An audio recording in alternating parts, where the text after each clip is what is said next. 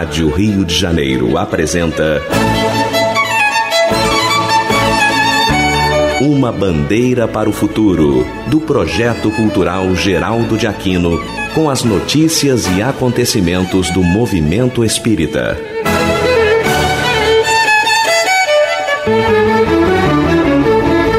Apresentação Newton Leal. Todas as sextas-feiras, às quatro horas da tarde. Quintas-feiras, à meia-noite. E aos domingos, às onze horas da noite. Pelas ondas amigas da emissora da Fraternidade, Rádio Rio de Janeiro. Nós nos propomos levar até você notícias de eventos, congressos e seminários espíritas em todo o Brasil. Conosco os companheiros José Carlos Leal, Sueli Guimarães e Fátima Verri.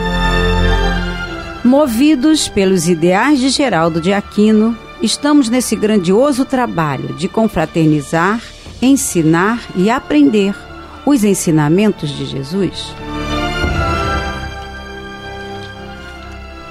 Nos diz Emmanuel: rodeiam-te as palavras em todas as fases da luta e em todos os ângulos do caminho. Frases respeitáveis que se referem aos teus deveres. Verbo amigo trazido por dedicações que te reanimam e consolam.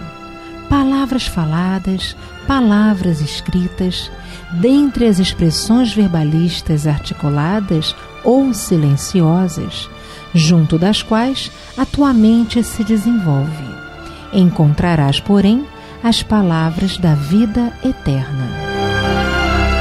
Participe conosco. Ligue para 2478 1400 ou 2461 1400 e seja um mantenedor de programações educacionais em nossa rádio. Fortaleça essa corrente de amor. Junte-se a nós e desfraude conosco uma bandeira para o futuro.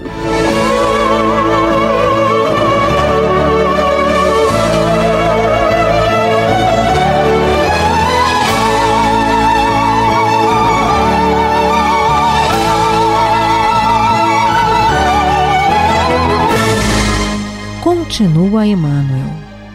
Guarda teu coração à escuta das palavras da vida eterna. Ah, elas nascem do amor insondável do Cristo, como a água pura do seio imenso da terra. Muitas vezes te mantens despercebido e não lhes assinalas o aviso, o cântico, a lição e a beleza. Vigia no mundo isolado de ti mesmo, para que lhes não percas o sabor e a claridade. Referem-se ao planeta como o nosso lar e à humanidade como a nossa família. Revelam no amor o laço que nos une a todos. Estamos começando o nosso programa entrevistando Sérgio Vanderlei Soares, que é professor, psicoterapeuta reencarnacionista e divulgará o seu trabalho na Rádio Espiritismo, no Centro Espírita Amor, Perdão e Fé e no Centro de Terapia em Filosofia Reencarnacionista. Conosco os companheiros José Carlos Leal e Sérgio Vanderlei Soares. Por favor, as suas saudações aos nossos amigos ouvintes. Professor? Família paz e bem, meus melhores respeitos. Estamos aqui uma vez mais para a nossa conversa semanal. E hoje o nosso assunto principal, nosso assunto temático, é a questão da palavra terapia, de um verbo grego terapeion, que quer dizer cuidar, curar, melhorar alguém de alguma coisa. E, e, nesse mundo onde cada um de nós tem um tipo de patia, né, das mais diversas, né, patia no sentido de doença, né, nós somos espíritos doentes, eu me incluo também nisso, não estou me colocando fora disso, não. Eu também tenho casos, minhas doenças, eu as sei quais são e, e quando as sofro. Então não tenho essa vaidade de dizer que eu sou modelo, nada disso. Até fico chateado quando algumas, alguns ouvintes muito simpáticos, muito agradáveis, é, falam, o senhor é o guru, que guru de nada, eu sou guru de coisa nenhuma, sou um sofredor como vocês, né? E hoje a nossa conversa, nossa nosso papo com o Sérgio é sobre terapia.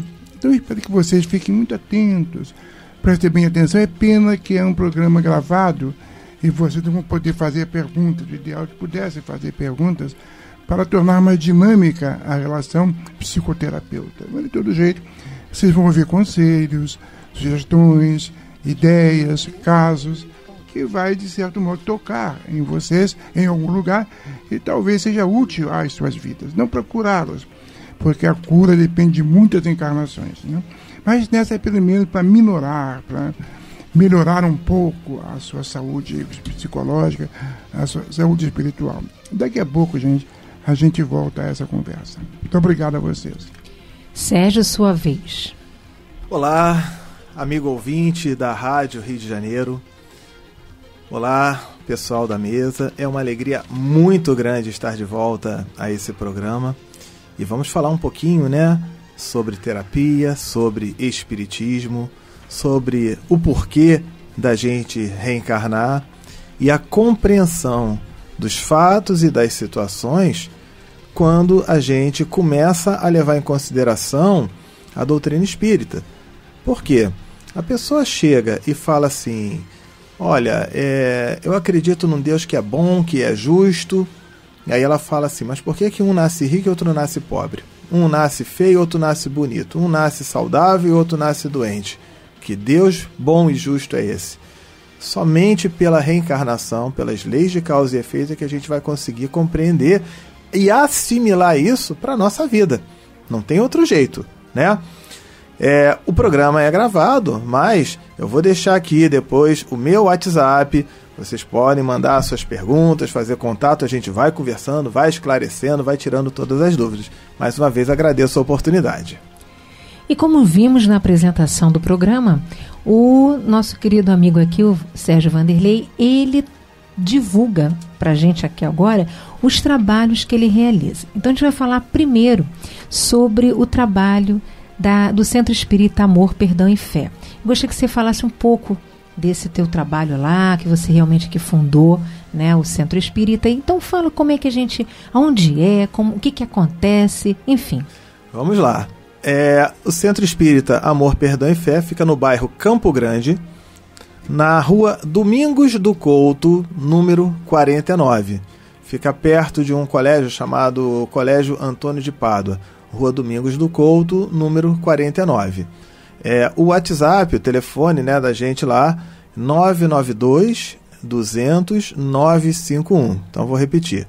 992 200 951. O pessoal pode mandar o WhatsApp. Ali a gente atende só o WhatsApp. Ligou para o número, não atende. Mas manda mensagem pelo WhatsApp que a gente sempre responde. E é uma casa espírita nova, foi fundada no dia 13 de março de 2018 relativamente nova, relativamente não, nova, é nova né? Não é tem nada de relativo, nova. é nova, né? Onde ali a gente procura dar o atendimento ao público, o atendimento fraterno.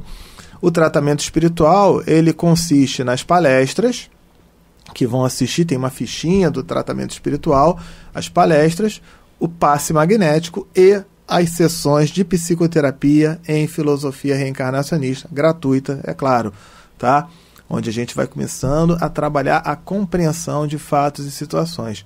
E aí a pessoa vai tirando suas dúvidas, vai repensando, vai reorganizando a sua forma de pensar, de sentir, de vibrar e de agir, para que possa então ter aí a sua melhora. Tá? As reuniões são toda terça-feira, 8 da noite, e a mesma palestra que é dada na terça-feira, 8 da noite, ela é repetida na sexta-feira, 9 da manhã é bastante interessante, né? Porque quem não foi assistir terça-feira não vai perder o conteúdo, não vai perder tudo aquilo que foi dito e poderá até apresentar as perguntas, as, as questões que não ficaram bem compreendidas podem ser feitas na sexta-feira. E, e, essa questão que você falou das atividades do centro, né, da reunião pública e do tratamento e essa questão da, da terapia reencarnacionista. Isso. Também ela é. Como é que ela é feita? Ela é marcada, tem agenda? Como é que ela funciona? Ela, a pessoa primeiro chega lá, hum. vai fazer uma entrevista, né? O atendimento fraterno, tá ok? Para que a gente possa é. compreender o processo da pessoa, né? 95% das pessoas que chegam na casa espírita chegam na dor. É precisam conversar, precisam desabafar, precisam ser ouvidas por alguém. Então, a gente se propõe, tem vários terapeutas que se propuseram a esse projeto, no qual eu estou liderando ali, mas é, não se faz sozinha, né? Uma andorinha é só não faz verão. É, é, todo mundo que participa, tá? Então, é, primeiro vai ter essa conversa fraterna para poder compreender alguns processos. As nossas palestras lá, a gente faz, são 32 semanas de palestras. São as palestras sempre repetidas, são cíclicas, tá? Onde a gente aborda situações do dia a dia hum. sob a ótica da doutrina espírita. Por que que. Qual é, semana passada foi, né? Por que sofremos? Qual é a importância da dor e do sofrimento na nossa evolução?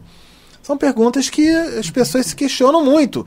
Então, ali a gente monta um estudo tendo por base Livro dos Espíritos, Evangelho, faz essa coletânea toda, né? E vamos trabalhando isso para a pessoa já entender melhor. Ah, o sofrimento é por causa disso, por causa daquilo, lei de causa e efeito, tal, tudo mais, né? E depois ela marca as sessões de terapia. São sessões individuais ela vai combinar com algum terapeuta da casa, um determinado dia, um determinado horário, porque a pessoa ela sente a necessidade de desabafar. Nem sempre em público ela se sente confortável para falar dos seus problemas e das suas dificuldades, né?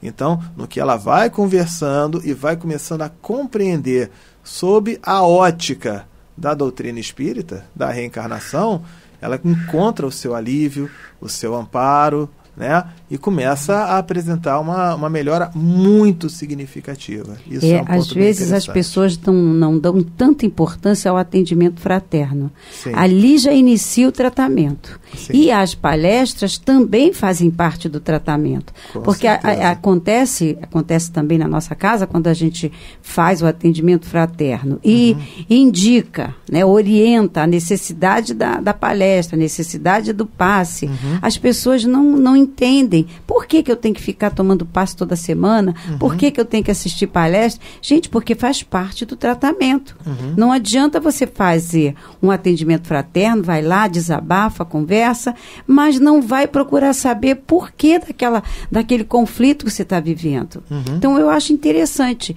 que as pessoas indo à palestra e tomando passo já com a parte do tratamento, quando chega a terapia, já está um pouco mais orientada, confortada, não é assim? Exatamente. Lá a gente coloca, por exemplo, existe uma realidade pelo menos na maioria das casas espíritas, né? Dia de cura, a casa está lotada. Dia de estudo, não vai quase ninguém, né? Então a gente coloca lá, ele recebe uma fichinha, são 32 semanas. A cada duas palestras que ele assiste, o, o, dirigente lá assina na fichinha, a cada duas sessões, duas palestras que ele assiste, ele tem direito a uma sessão de terapia. Hum, Por quê? Porque a transformação dele é, é, é, uma, não é reforma íntima. Então, como é que eu quero mudar as coisas se eu continuar do mesmo jeito? A pessoa muitas vezes chega lá e fala: Ah, eu tô com problema de obsessor, essa coisa toda. Tudo bem. Eu costumo dizer muito nas palestras que eu faço, pelo Brasil e fora do Brasil também, que a questão do obsessor, quando a, é, aquela pessoa obsediada ela não se trabalha na reforma íntima, o único beneficiado na desobsessão é o obsessor. O obsessor vai ser esclarecido, vai ser orientado, vai seguir para as colônias espirituais e tudo mais. Agora, o obsidiado, ele continua pensando do mesmo jeito, sentindo agindo do mesmo do jeito, mesmo. vibrando do mesmo jeito, agindo do mesmo jeito, ele vai atrair um outro obsessor igualzinho ao que estava antes, só muda o CPF do obsessor. É isso mesmo. É a única coisa. Por isso a importância da palestra. Né? O ouvinte da Rádio Rio de Janeiro, é, é, é importante saber passar isso para as pessoas, da importância do tratamento. Primeiro, aqueles espíritos que estão ali com ele, talvez incomodando, estão juntos, estão participando, estão sendo também amparados ou iluminados. Porque muita gente, me corrige se eu estiver errado, mas muita gente fala assim, né? Ah, é só ir na desobsessão. Será que o, será que o doutrinador na mesa mediúnica ele é uma pessoa tão persuasiva assim para em cinco minutos convencer um obsessor, um inimigo de, de milênios, a seguir para um plano espiritual?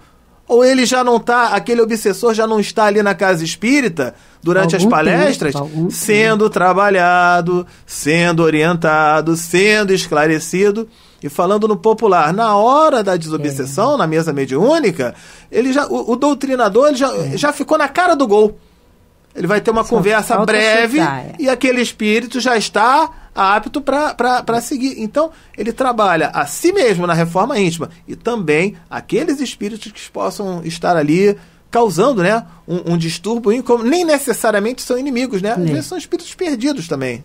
Né? É, e às vezes também vão pela atração, né? Sim. Porque como eles estão, têm o hábito de dizer, ah, eu não estou fazendo nada, estou perdido, estou andando, preciso me alimentar. Sim. Quantos falam isso, né? Preciso me alimentar. Uhum. E aí eu vou, porque ali está uma alimentação perfeita, grande, intensa. Uhum. E você fala isso para o obsediado, eles não conseguem entender. Uhum. Acham até que só colocando o nome Uhum. Né? Alguns nem sabem que os nomes estão sobre a mesa. Uhum. É que o irmão pede, o avô pede, a mãe pede, uhum. e aí os nomes ficam lá, mas eles não sabem.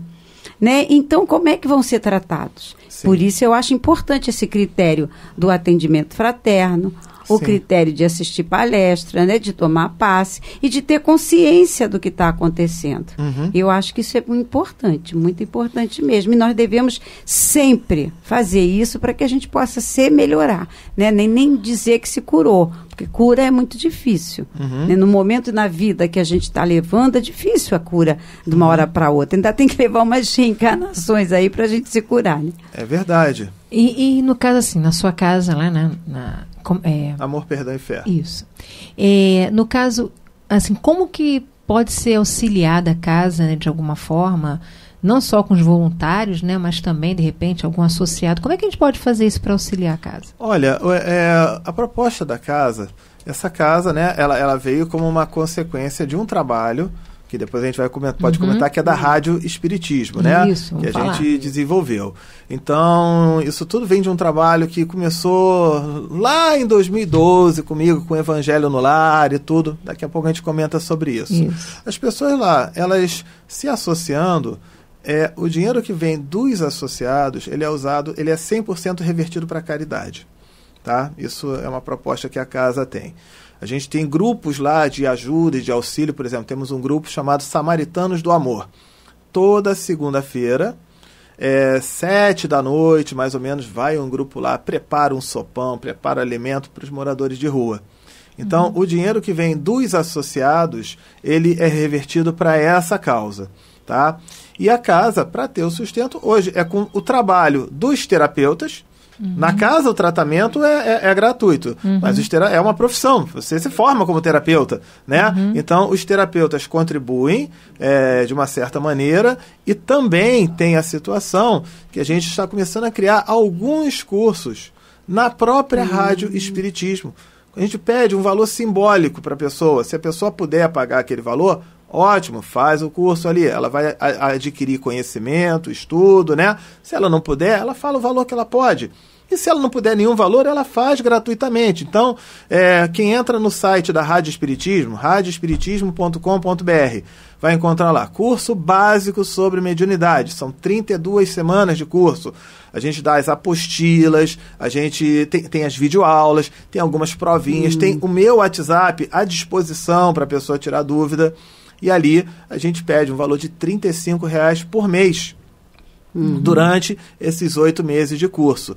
Então, ela além de adquirir conhecimento, nos ajuda a manter esse, esse trabalho, né? Porque não tem jeito, né? Eu já tentei uhum. falar com a Light, já tentei falar com a internet, se eles aceitavam em bônus hora, eles não aceitaram. Eles falaram que tem que ser em dinheiro mesmo. É. Então a gente tem que criar é, é, alguma coisa, é um né? Mecanismo um mecanismo para isso, entendeu? A gente pede até ajuda, o pessoal que puder entrar, fazer. Ah, Sérgio, mas eu já conheço isso. Mas adquire um pouquinho mais de conhecimento, uma ajudinha e tal.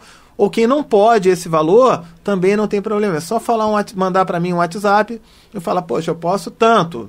Ok. Ninguém deixa de fazer o curso de, de, de fazer os cursos e tudo mais por questão financeira. Entendi. Quem pode, tá ótimo. Quem não pode, não tem problema. É um entendeu? ajudando o outro. né? Então vamos aproveitar e pegar esse gancho. Fala agora pra gente sobre a Rádio Espiritismo. Olha, a Rádio Espiritismo, ela veio de um, de um trabalho lá atrás, onde me veio a ideia de fazer, né, em 2012. Eu desenvolvi um trabalho, um trabalho samaritano de ensinar as pessoas a fazer evangelho no lar. Visitava as famílias, né? Olha, é assim que se faz, tal, tal, tal, tal, explicava. Mas isso rapidamente tomou o meu tempo e eu não tinha mais como atender as pessoas. Falei, olha, gente, eu vou ter que parar, não vou poder continuar com isso. E três pessoas me pediram muito para dar essa ajuda. Eu falei, olha, não, não tenho como, mas deixa eu fazer uma coisa. Vocês têm internet? Em 2012 nem todo mundo tinha internet. Eles falaram, nós temos internet. Então vamos combinar uma coisa? Eu vou en- entrar na internet, vou criar ali um blogzinho e vou gravar três vídeos. Vou botar um em cada semana. Um primeiro é mostrando o que é o evangelho e o seu passo a passo. Depois eu faço um, um vídeo do capítulo primeiro, outro do capítulo segundo. Por aí vai, né? E aí vocês já vão ter toda a base aí para continuar. Gravei esses vídeos. E olha, eu fiquei de olho para ver se iam ter três visualizações. Se tivesse duas, eu ia puxar a orelha de um, de um né? Verdade. Fiz aquilo e tomei um grande susto. Porque essas três pessoas viraram 30, viraram 300, viraram 3 mil, viraram 30 mil. E de lá para cá, já fizemos o evangelho inteiro em 225 vídeos. E já estamos fazendo de novo, porque as primeiras gravações com a qualidade péssima, né? Eu não, não, não tinha. não- eu não tinha essa, essa, Essa tecnologia. esse avançada. conhecimento, né? Estamos fazendo de novo nessa semana, acho que estamos colocando o número 115, 116, fazendo ele todo de novo. É, onde a gente trabalhou um ponto que, antes aqui de começar o programa, eu estava conversando com o professor José Carlos Leal, estava escutando ele, que é sempre oportunidade Sempre de aprendizado. Eu considero uma enciclopédia aqui para mim, acho que para todos nós, né? É, sobre a importância de falar fácil. Então, o evangelho que eu comecei a desenvolver, eu acho que não tem nada demais em relação aos outros, mas a gente tomou só um cuidado. A gente colocava o texto, a gente coloca o texto do evangelho e o texto da página de preparo. A nossa página de preparo, ela não é uma leitura aleatória, ela é uma página realmente de preparo. Da coleção Fonte Viva, a gente fez um trabalho de selecionar o texto que fosse pertinente, que tivesse a ver com o estudo do dia. E colocando o significado das palavras mais difíceis. Não podemos olvidar, entre parênteses, esquecer. Porque muita gente não, sabe o que significa. Olvidar, vicissitudes, expiações, alhures, e- e que são palavras, profligar, e- e que aparecem ali, a pessoa fica, não, isso aqui não é para mim. Então, essa foi a ideia. Começou a surgir tanta gente, eu já não sabia mais o que fazer. Eu tive que ah, pegar um outro telefone só para esse tipo de trabalho. E era tanta pergunta que se eu fosse responder no Evangelho no Lar, já não seria mais Evangelho no Lar, ia ser tira dúvida. sistematizado. Eu tive, aí eu criei um outro programa chamado Minutos de Espiritismo. Isso foi tomando uma proporção, eu comecei a receber convites para algumas rádios e dentro de um processo natural acabou surgindo a Rádio Espiritismo. Você entra radioespiritismo.com.br ou naquele, naquele app né, do celular, você vai na Play Store ou na Apple Store, bota lá Rádio Espiritismo, tudo junto. Né? E onde a gente convida as pessoas de qualquer lugar, o, o ouvinte que estiver nos acompanhando agora, de repente ele fala: Olha, eu, eu gosto de estudar sobre isso, eu tenho conhecimento sobre esse assunto ou sobre aquele. Manda um zap pra gente. Ele vai gravar, pode gravar do próprio celular de casa. A gente não tem a tecnologia como é aqui na Rádio Rio de Janeiro. Grava ali, a gente vai e coloca no ar sem custo nenhum para os apresentadores. Basta estar com boa vontade. E isso fez com que a rádio tivesse participantes do mundo todo. Que bom. Tem gente do Rio de Janeiro, tem gente de Porto Alegre, de Minas Gerais, tem gente de Indiana, nos Estados Unidos, tem gente de New Jersey, nos Estados Unidos, apresentando programas. Então acabou tomando esse, esse rumo aí. É, e a gente vai vendo, olha que quanta curiosidade, né, gente? Vamos começar a entender bem o que que um pouquinho pode se transformar em muita coisa para muita gente. E a gente, a gente não sabe nem o quanto a gente faz, né? É importante a gente ter aproveitar as oportunidades. Mas agora nós vamos a um pequeno intervalo e voltaremos já já. Programa Uma Bandeira para o Futuro.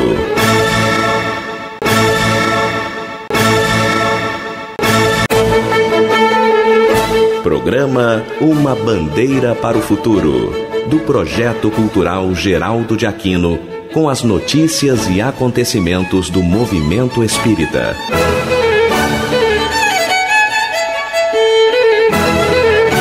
Apresentação Newton Leal. Este programa vai ao ar todas as sextas-feiras, às quatro horas da tarde, e reprisado quinta-feira, à meia-noite, e domingo, às 23 horas. Envie suas sugestões por e-mail, uma bandeira para o futuro, arroba rádio Rio de Janeiro, ponto am, ponto br. Estamos de volta para darmos prosseguimento ao nosso programa, entrevistando Sérgio Vanderlei Soares que é professor, psicoterapeuta reencarnacionista. E ele continua nos falando sobre seus trabalhos realizados na Rádio Espiritismo, no Centro Espírita Amor, Perdão e Fé e no Centro de Terapia em Filosofia Reencarnacionista. Bom, na primeira parte do programa falamos um pouco sobre o Centro Espírita, começamos a falar sobre a Rádio Espiritismo e agora temos que falar também do Centro de Terapia em Filosofia Reencarnacionista. Quer dizer, uma coisa está interligada com a outra. Vamos lá, continue falando aí. Inclusive, você em off aqui estava contando um caso pra gente de coisas que acontecem, às vezes, até no interior do Brasil, né? Conta para o pessoal também, para trazer essa curiosidade. É, vamos lá, né? Às vezes acontecem situações que com a Rádio Espiritismo, as pessoas elas tomam confiança para conversar, para desabafar, né? É um canal que permite a elas é, trocar ideias e esclarecimentos. E para nós aqui do Rio de Janeiro, que a gente tem uma determinada cultura, né? Conhecemos algumas coisas, algumas situações, a gente sequer faz ideia de coisas que acontecem em outras regiões do Brasil ou do mundo. Então, eu conto aqui de, de três ouvintes do interior de Minas Gerais que falavam, né, que, olha, eu quando eu era criança, eu via gente que morreu, eu escutava vozes, aquela coisa toda, né? E ninguém acreditava, e era uma, uma confusão danada. E aí, os meus pais disseram lá, né, que, que a minha avó tinha uma simpatia que resolvia esse negócio de, de ficar ouvindo voz e vendo gente que morreu.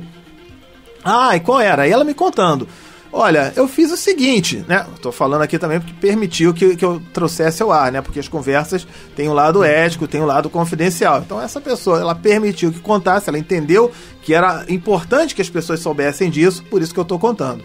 Aí ela conta que os parentes chegaram e falaram: olha, pra você parar de ouvir voz e ver gente que morreu, faz o seguinte: quando tiver um enterro, você chega lá no velório, né? Fala com, com os parentes lá para tirar o sapatinho do defunto e você vai dar um beijo no pé do defunto.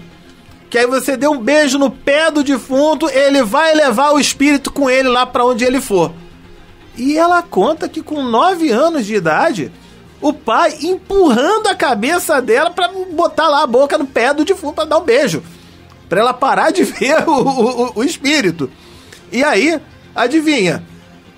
É, o que, que aconteceu? Resolveu? Não, é claro que não resolveu nada. Ela tem mediunidade, mas ela conta que ela tinha que falar pro pai. O pai, e aí, minha filha, resolveu? Ela falou, resolveu. Resolveu. É claro que não resolveu, mas já pensou se ela diz que não resolveu? Quantos pés de defunto ela ia ter beijado até que resolvesse isso? E eu fiquei impressionado de três em lugares diferentes com esse hábito, porque essa parte da, cultu da cultura, né, das das crendices, né, vão sendo passadas adiante, em quantos lugares, em quantas cidades isso pode acontecer? Quanta gente já deve ter beijado pé de defunto aí?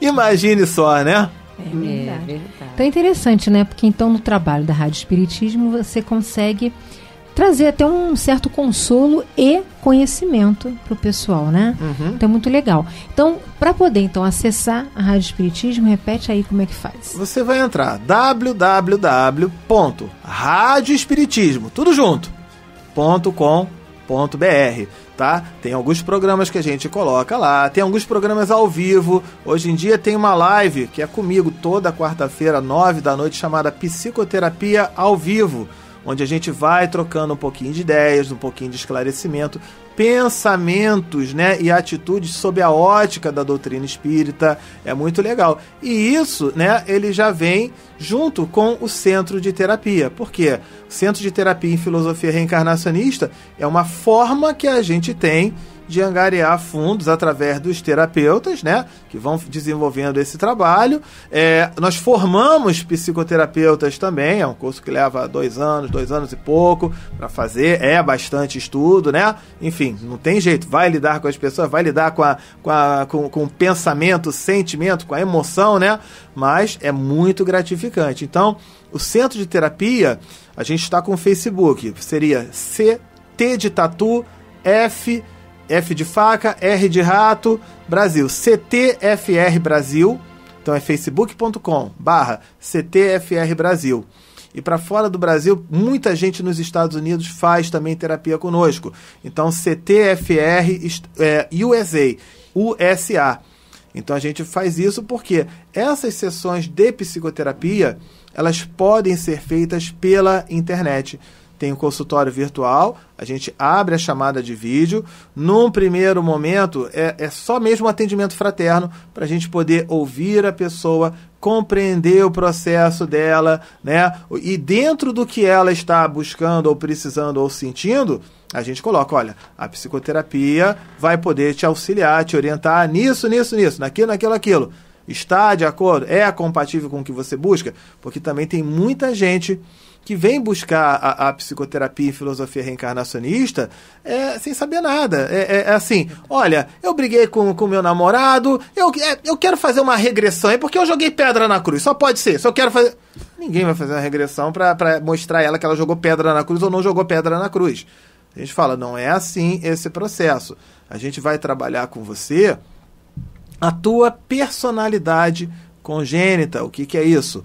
Lá no Obreiros da Vida Eterna, capítulo 2 de André Luiz, ele fala, né, sobre nós trazermos as nossas características, superioridades e inferioridades, como um histórico das nossas vidas passadas. Por isso é a filosofia reencarnacionista. Então, uma pessoa. É engraçado porque quando a gente vê uma criança de 3 anos tocar piano, ninguém tem dúvida em dizer que, ah, isso é coisa de vida passada. Mas quando uma pessoa ela é agressiva, ou ela é calma, ou ela é nervosa, ou ela é impaciente, ou ela é tranquila, ela está trazendo a sua bagagem do histórico lá de vidas passadas. Então a gente vai analisar isso. A gente já vai observar isso. Isso, inclusive, se trabalha muito também com as causas emocionais das enfermidades, das doenças, que a gente também trabalha na terapia. Uma pessoa às vezes fala assim: eu tenho. É, isso André Luiz também fala muito, já não me lembro agora em qual obra. Que as nossas doenças nada mais são do que o efeito das nossas causas emocionais. É por isso que a gente vê, hoje em dia, tanta farmácia aberta. Tem mais farmácia do que supermercado. Tem mais farmácia do que padaria. É, tem, tá alguma coisa errada. Isso quando não tem uma farmácia dentro do supermercado. Não era. Por, por que isso? Porque a farmácia, a indústria farmacêutica, ela trabalha um remédio para tratar a consequência, mas não trata a causa. Se não trata a causa, ela vai ficar eternamente consumindo aquele remédio. Outro dia eu fui numa farmácia que eles queriam fazer um plano de fidelidade. Eu falei, que plano de fidelidade, rapaz? Eu, eu prometo ficar doente todo mês. Não, não vou fazer plano de fidelidade nenhuma. Que plano de fidelidade? Você fiel à minha esposa, meus filhos, à minha família, né? Plano de fidelidade. Eu falei, não, que é isso? Né? Por quê? A gente trabalhando, encontrando a razão emocional, o corpo ele reage com o nosso emocional. Então, eu vou dar aqui alguns exemplos, né? Uma pessoa que tem gastrite, geralmente é uma pessoa que tem muita ansiedade, se estressa com facilidade, ela geralmente tem uma, uma atividade mental proporcionalmente maior do que os fatos. Geralmente tem esse perfil, não é 100%, né? Então, isso causa. É uma pessoa que fica muito nervosa. Tem que ficar, né? Então, quando você ouve uma pessoa falar assim.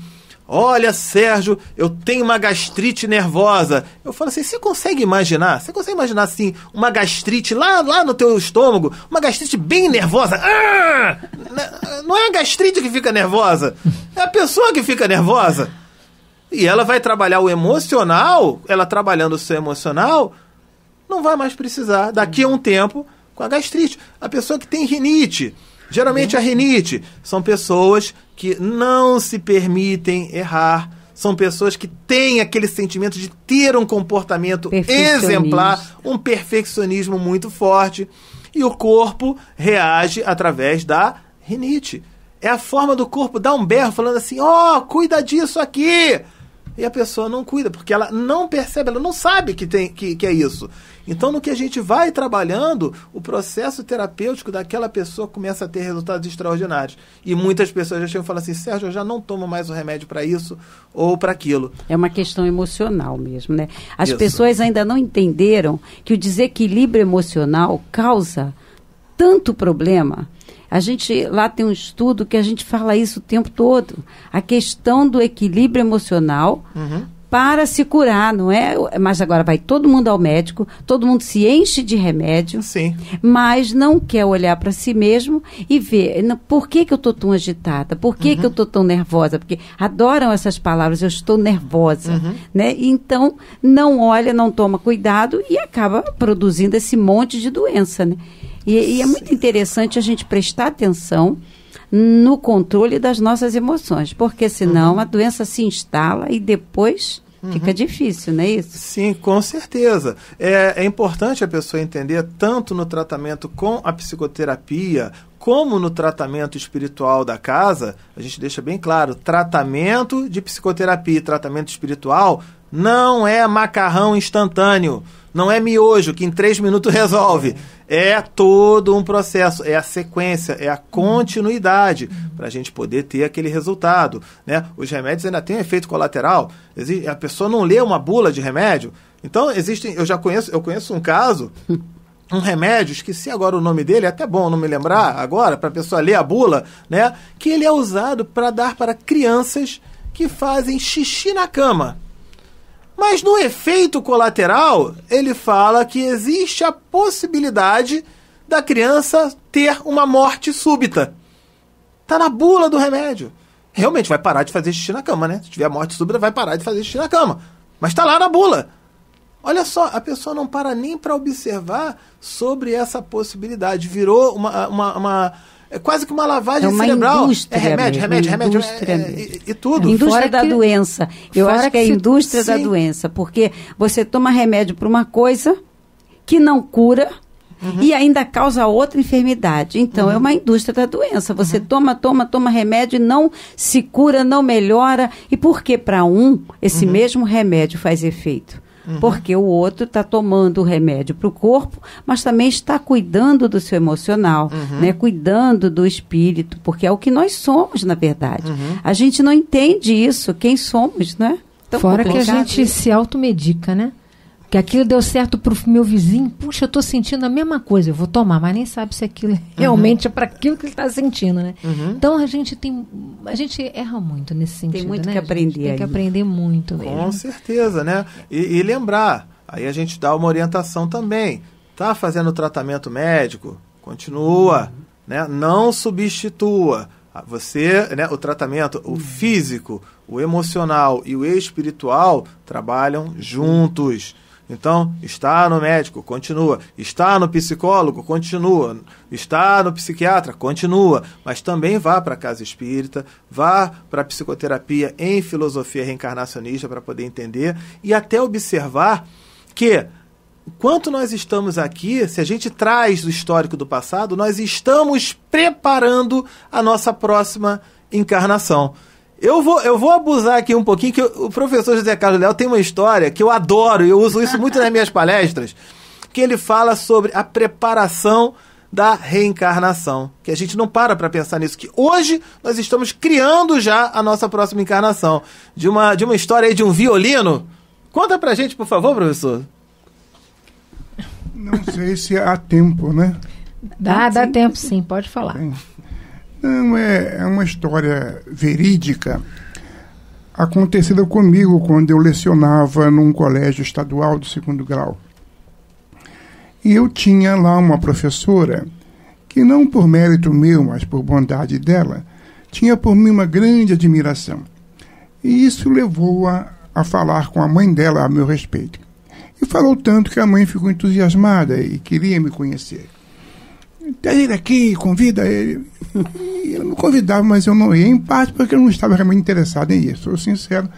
E segundo, porque eu tinha também atividades outras, eu não podia passar um domingo, por exemplo, ela em Jacarepaguá, que ela morava bastante longe à época. Mas um dia a mãe dela levou uma queda, eh, quebrou a bacia e teve que ficar acamada, engessada. Ela veio falar comigo, ah, agora você tem que ir lá em casa, porque a mãe está doente, a mãe quer ver você, quer visitar você. E aí a palavra doente, né, sempre traz para a gente um sente-me solidariedade, pois está doente, vai lá ver e tal.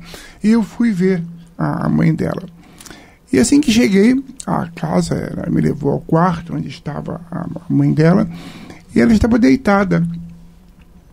Eu entrei, sentei-me uma cadeira perto da cama e observei que perto da cama, ou em cima da cama, havia um violino. E eu perguntei para ela: a senhora toca violino? Ela disse: Não, eu estou aprendendo. E eu fiz uma cara assim tão explícita que ela entendeu a coisa como: para que, que essa velha está aprendendo a tocar violino nessa idade e demora muito morre. Mas não falou isso. Mas me disse isso. Você deve estar achando estranho que eu estou, esteja aprendendo a tocar violino. Disse, é, sim, é verdade, estou achando. Eu vou lhe contar por quê. Desde mocinha, ainda adolescente, eu estava muito interessado em tocar violino. Eu achava bonito, para mim era o mais belo instrumento que havia. Mas eu era muito pobre e não podia comprar violino, e muito menos pagar aulas de violino. E eu fui adiante esse sonho e não o realizei. Depois me casei, vieram os filhos, mais tarde os netos, e os encargos de mãe e avó também me impediam aprender violino e tocar violino. O tempo foi passando e eu levei essa queda. Agora estou aqui de molho. Não posso mais lavar minha roupa, cozinhar, lavar, arrumar a casa. Então não posso fazer nada, só ficar deitado aqui. Aí eu pedi, me lembrei do meu sonho, pedi a minha filha para comprar um violino e convidar, chamar um professor para me dar umas aulas. Essa é a explicação. Mas a minha expressão facial parecia denotar ainda uma certa surpresa. E ela voltou ao assunto. Disse: Olha, eu notei que o senhor ficou ainda com uma expressão assim de. Está entendendo muito bem esse. É, de fato, eu vou lhe explicar ao senhor. Sabe o que, que é?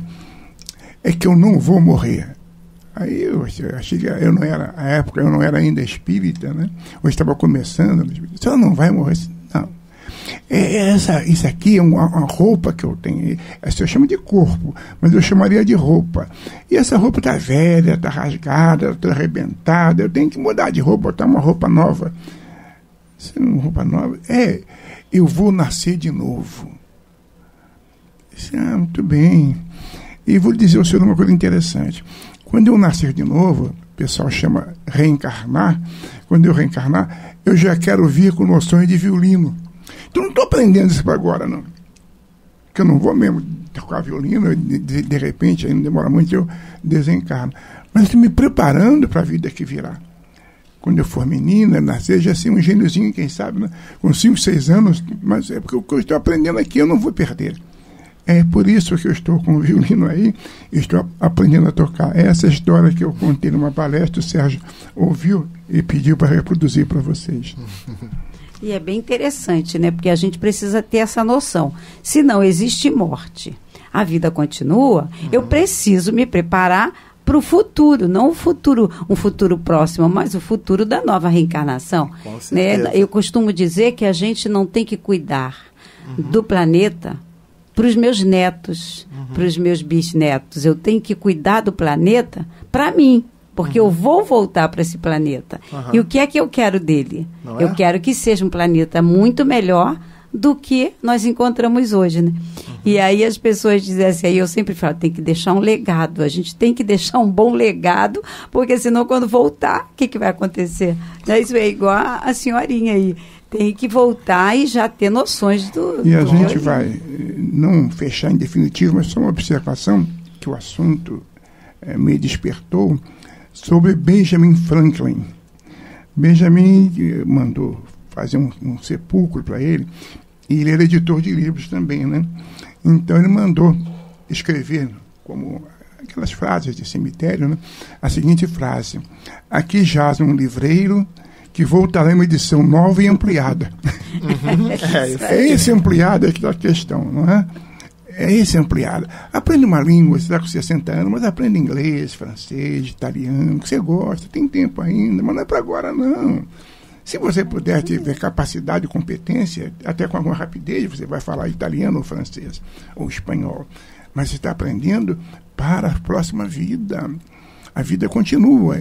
Essa preparação da vida futura se faz no presente. né? Porque, em verdade, não existe futuro. né? Só existe o presente. Então, o presente é o momento em que você está vivendo sempre. Só que esse presente aqui tem o nome de expectativa. É aquilo que eu espero né, é, para a minha próxima vida. É, Sérgio, é só para poder complementar. Na tua casa espírita, é, vocês fazem assim, algum tipo de almoço, algum evento que possa convidar as pessoas ou não? Não, por Ainda enquanto não? ainda não tem, tem só os grupos de trabalho. É, é porque a casa, como ela veio desse trabalho de internet, ela tem um público muito maior de internet. As Entendi. pessoas ainda estão chegando, ainda estão Ah, conhecendo, tá. né? Como eu falei, tem muito pouco tempo, Entendi. né? Então a gente não, não promove. Por isso a gente criou essa situação do curso, que é uma forma da pessoa pela internet Ah, nos ajudar, porque é uma despesa realmente Com muito certeza. grande. Né? Esse trabalho como terapeuta, o meu trabalho como terapeuta, eu utilizo também muito para dar palestras em várias cidades do Brasil. A pessoa convida e tal, né? Sem custo para casa espírita. A gente vai, é sempre uma alegria muito grande. Mês passado estivemos em Pratinha. Lá perto de Araxá, não foi lá no Tadeu, não, foi no, no- Centro Espírita dos Banquinhos. Uma experiência maravilhosa da gente ter esse contato, né? Então a gente vai fazendo essas visitas. Vamos, vamos plantando sementinhas, né? Entendi. Esse é, o, é o, o grande objetivo. As pessoas podem acompanhar as palestras ou indo lá, né? Vai ser muito bem recebido, é uma alegria muito grande. Ou também pela internet. A gente tem lá o Facebook, facebook.com barra amor, perdão e fé, tudo junto. Uhum. Eu tô falando um monte de Facebook, um monte de coisa, as pessoas, os ouvintes, eles podem depois guardar o meu WhatsApp, vou dar o meu Isso, WhatsApp. isso. E aí no meu WhatsApp, Sérgio, me passa esse monte de, de, de link, de endereço, de- dessa coisa toda, É né? mais fácil, Eu acho é. que fica mais fácil. Isso. Então, o meu WhatsApp, ele é 21 99 247 5631. Repete. Vou repetir. devagarinho. 21 99 247 5631. Eu falo o seguinte, eu respondo todas as mensagens. 100% das mensagens são respondidas. Mas às vezes eu não consigo responder na hora, né? Porque é muito trabalho, mas a gente vai sempre responder. Ninguém fica sem resposta, tá bom? Ok, então estamos chegando agora ao final do nosso programa, então eu gostaria das despedidas. Começa por você, Sérgio. Gente, é, nós aqui estamos plantando sementes. Nós aqui somos espíritos num processo de evolução, de aprendizado e de desenvolvimento.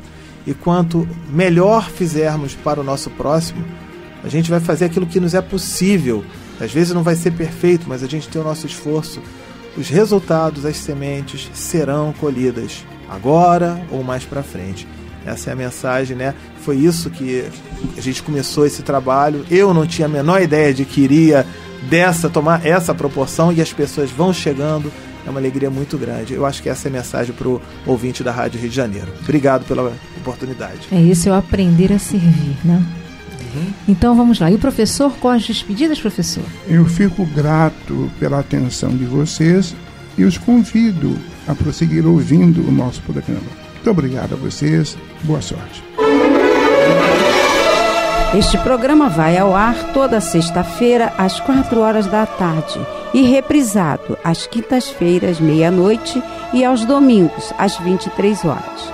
Nosso programa é gravado, mas as suas observações podem ser enviadas para o e-mail uma bandeira para o futuro arroba rádio Rio de Janeiro ponto am ponto br e nos acompanhar também pelo site www.radioriodejaneiro.am.br e assim assistir a todos os programas da emissora da Fraternidade.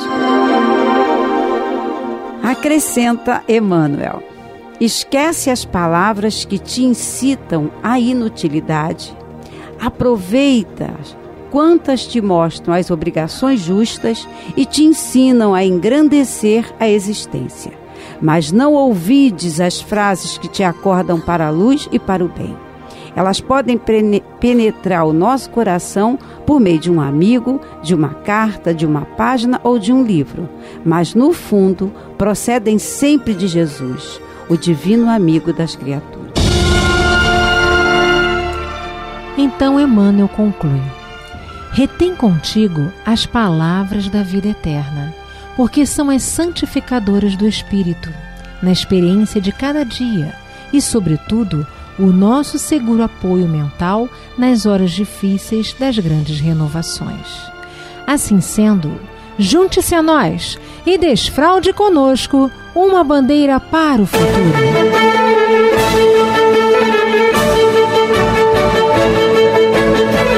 A Rádio Rio de Janeiro apresentou. Uma bandeira para o futuro, do projeto cultural Geraldo de Aquino.